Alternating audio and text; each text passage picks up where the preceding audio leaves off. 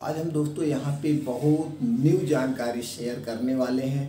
अगर आपके पास होटल है या आप होटल से रिलेटिव बड़ा बिज़नेस करना चाहते हैं तो उससे रिलेटिव यहाँ पे जानकारी शेयर करते हैं। दोस्तों, उसमें आपको जो है लेबर की, यानी आदमियों को रखने की कम ज़रूरत पड़ेगी। वो बिज़नेस कौन सा है, उसमें कितनी लागत आएगी और उस मशीन को हम कैसे करें प्रॉफिट हमारा कैसे होगा तो सब कुछ यहाँ पे जानकारी शेयर करने वाले हैं दोस्तों। सभी सम्मानित दोस्तों को नमस्कार। आज हम दोस्तों यहाँ पे बात करेंगे रोटी मेकिंग का बिज़नेस जैसे आप जानते हैं, अगर आप होटल चला रहे हैं तो गर्मी बहुत ज़्यादा होती है तो आदमी इसे बनाने में या कुछ लोग दोस्तों ऐसा होता है कि उसमें आदमी जब बनाता है तो पसीना होता है तो उसमें होता है तो इसलिए कुछ लोग लाइन नहीं करते हैं और मशीनों का प्रयोग करते हैं। तो इसमें बहुत अच्छी अच्छी मशीनें आ गई हैं कि यहाँ तक कि दोस्तों एक घंटे में एक घंटे में एक हज़ार, डेढ़ हज़ार तक रोटियाँ बना देती हैं। और सब ऑटोमेटिक होती हैं, उसमें आपको कुछ करने की ज़रूरत नहीं होती है। तो चलिए दोस्तों, हम बात कर लें कौन सी मशीन है,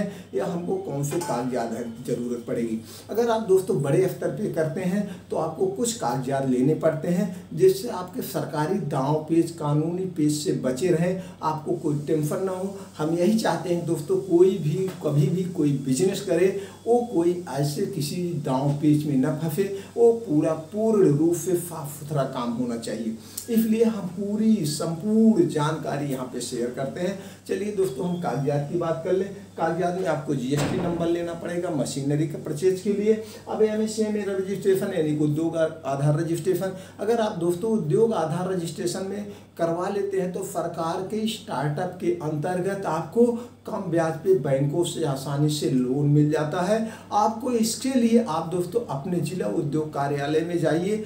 उसमें संपर्क करिए तो उनके अंतर्गत कौन सी स्कीम चल रही है। अगर आप उस स्कीम के अंतर्गत लोन को लेते हैं तो आपको छूट भी मिलता है और सब्सिडी दोनों चीज़ें मिल जाती है दोस्तों। ये बहुत बेटर रहेगा। उसके बाद आता है फ़ूड प्रोडक्ट में आता है दोस्तों। खाने पीने की चीज़ों का कोई बिज़नेस करेंगे। आपको फ़ूड यानी कि एफएसएआई में रजिस्ट्रेशन करवाना पड़ेगा। अब दूसरों दोस्तों ट्रेड लाइसेंस होता है या स्थानीय लाइसेंस होता है। अगर आप नगर निगम के अंतर्गत है तो आपको करवाना है, अन्यथा नहीं। उसके बाद दोस्तों करेंट अकाउंट खुलवाना पड़ेगा, जैसे आपको बड़े स्तर पे करने के लिए।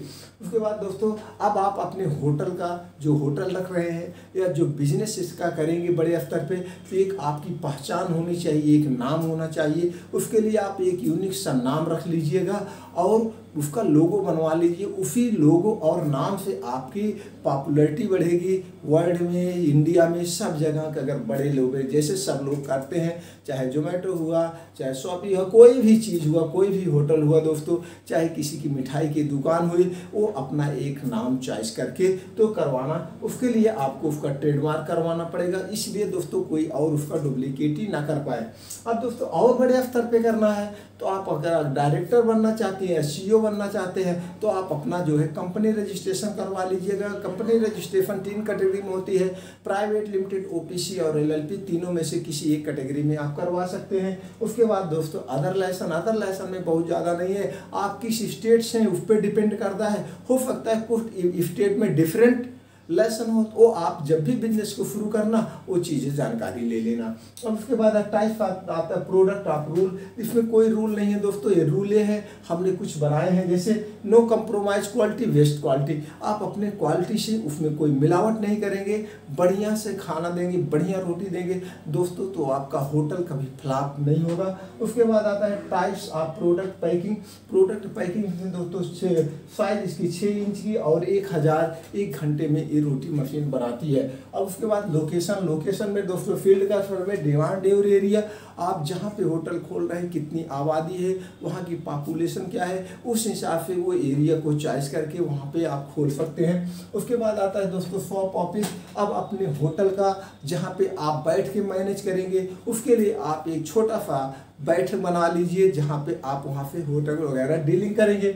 उसके बाद आता है मशीन मशीन में दोस्तों आता है automatic semi automatic fully automatic तीन कैटेगरी की मशीनें आती हैं। तीनों कैटेगरी में जिस हिसाब से आपका बजट हो, उस हिसाब से आप ले सकते हैं। हाँ दोस्तों, मशीन को आप ऑनलाइन नहीं परचेज करेंगे। ऑनलाइन परचेज करने में बड़ी प्रॉब्लम होती है। आपको कोई रिप्लेसमेंट हुआ, कुछ हुआ, इसके लिए दिक्कत होती है। तो आप क्या करेंगे? गूगल पे जाके सर्च करिए, रोटी मेकिंग मशीन। फुली ऑटोमेटिक या ऑटोमेटिक तो सारी कंपनियों के डिटेल आ जाएँगे कॉन्टेक्ट नंबर आ जाएँगे और डिस्ट्रीब्यूटर के भी आ जाएँगे। तो आपके नियर में जो पड़े, वहाँ पे आप विज़िट करिए। विज़िट करने के बाद उनके रेट लीजिए टर्म कंडीशन लीजिए गारंटी वारंटी देखिए कितनी गारंटी है और वो बनाने का और क्या सिखाएँगे, हमको क्या क्या देंगे, इसमें कुछ ज़्यादा सीखने की ज़रूरत नहीं है। फिर भी उन लोगों के पास दोस्तों, क्या होते हैं कारीगर होते हैं, आपके यहाँ आके सर्विस देने के लिए तो ये सब पूरी फुल जानकारी ले लेना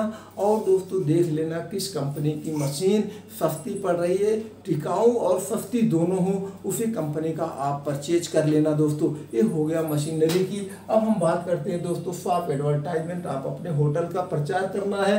तो कल कैलेंडर द्वारा दोस्तों पंपलेट हो गया न्यूज़पेपर हो गया और सोशल मीडिया होल्डिंग आप अपने होटल का प्रचार भैया, हमारे यहाँ ऑटोमेटिक मशीन से रोटियाँ बनाई जाती हैं। इसमें कोई एकदम साफ़ सफ़ाई से होता है। तो ये सब चीज़ें आप एडवर्टाइज के द्वारा, अपने एरिया में या सोशल मीडिया के द्वारा आप अपना प्रचार कर सकते हैं। अब दोस्तों सेल्फ इम्प्रूवमेंट प्लान बनाना होगा। आपको बहुत ज़्यादा हाई फाई नहीं रखना होगा। आप अपने हिसाब से अपने एरिया का सर्वे कर लेना, किस, कितने बड़े स्तर पे आप काम कर रहे हैं। उस हिसाब से आप अपने होटल का रेट वगैरह है तो आप जानते ही हैं, कर लेना दोस्तों। और कस्टमर के साथ जो सबसे ज़्यादा मेन इंपॉर्टेंट है कस्टमर के साथ आपका व्यवहार अच्छा होना चाहिए। आप कभी भी कस्टमर के साथ अच्छा व्यवहार करेंगे तो आपका बिज़नेस कभी फेल नहीं होगा।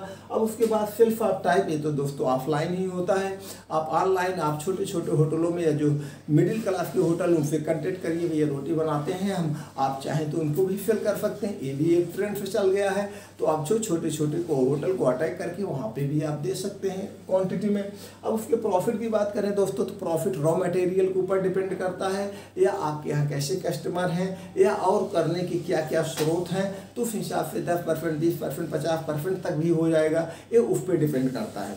एक चीज़ और यहाँ पे शेयर करेंगे दोस्तों जो सबसे मेन इंपॉर्टेंट है कस्टमर आपके मेन होने हैं और क्वालिटी मेन होनी है तो अगर आपकी क्वालिटी और कस्टमर बढ़िया है तो आपका बिज़नेस कभी फेल नहीं होगा, चाहे जहाँ भी होटल खोल देंगे।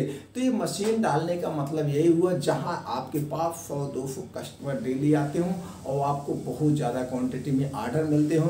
कभी कभी बड़ी बड़ी जो है दोस्तों फैक्ट्रियों में आर्डर देना पड़ता है तो वहाँ पर ज़्यादा सामान, ज़्यादा रोटी की ज़रूरत पड़ती है तो आपका होटल किस स्थान पर है, कैसे है, उस पर उसी उसी हिसाब से आप अपना मशीन परचेज करिएगा दोस्तों।